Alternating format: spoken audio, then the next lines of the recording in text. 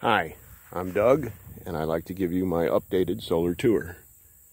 This is a 4.6 kilowatt grid-tied array, has uh, Enphase microinverters. I installed it myself in 2012. It has since paid for itself.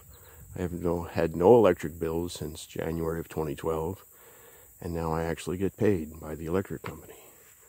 This is a sun oven, solar oven cooker about anything you want to cook in a uh, hot pot or an oven you can do in this.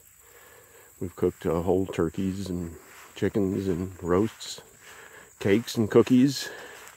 Over here is a homemade solar water heater for the hot tub. It has a little 20 watt PV panel on it to circulate the hot tub water through 300 feet of PEX.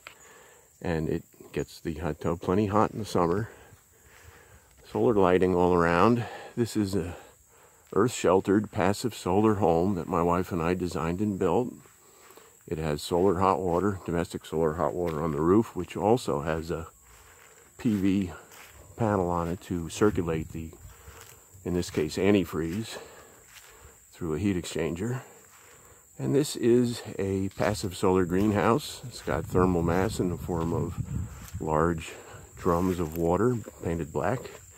It has a batch water heater in it, and that's just for the greenhouse use. Over here, we have a stained glass studio. The lower panel is solar hot water for the studio and the shop. The upper panel is solar heated air, solar space heating for the studio. Over here, we have a 2017 Chevy Volt. It's an EREV, extended range electric vehicle, which means it gets about 60 miles, all electric. And then it has a small gas motor that will cut in and keep the battery charged to give you a range of over 400 miles on one tank. I really like it. It's super quiet, super efficient, very quick off the line, fun to drive, and uh, I feel really good about the gas mileage is over 100 miles per gallon if we average everything out.